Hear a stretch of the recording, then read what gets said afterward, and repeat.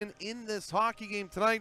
Let's take a look at how this game was had and our highlights from tonight's hockey game. And it all started with the Warriors 11.02 into the first period. Trent Wilson, his 16th goal of the season from Felix Carana, Jackson Kyrkostas. A nice pass from below the goal line by Karan to spot his man in front.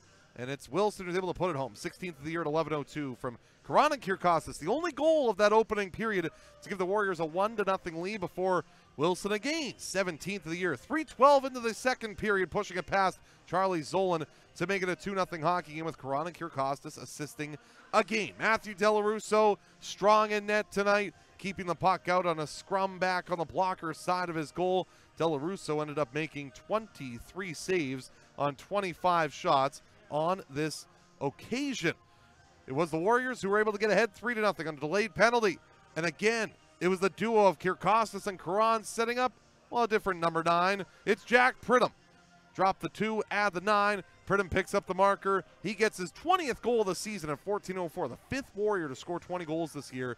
Karan, Kyrkostas get the assists, and the Warriors lead 3 0 at that point. But hang on, just 19 seconds later, Kazumo Sasaki, a rocket from the left faceoff circle up and over the glove side of DellaRusso. Lyndon McCowan, and Aiden Sulney draw the assist at 14-23.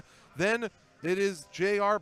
on his 13th of the year at 17-46 from Kai Greaves and Killian McGregor Bennett as a tic-tac-toe passing play is finished off by on his 13th of the year. That made it a 3-2 game. Into the third we go, and Matthew DellaRusso continued to be strong, keeping that puck out on a, on a drive wide of the goal by Killian McGregor Bennett.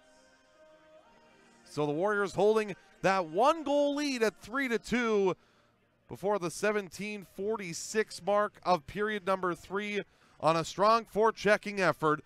It's Johannes Lockberg taking this pass from Carter Oakenfold and putting a backhander up and over the glove side of Charlie Zolan. 11th goal of the year for Lockberg.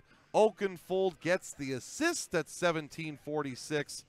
And the Warriors up 4 2 they'll win this hockey game by a final score of 4 to 2. Matthew DellaRusso 23 saves on 25 shots as the Warriors win it 4 2 the final score.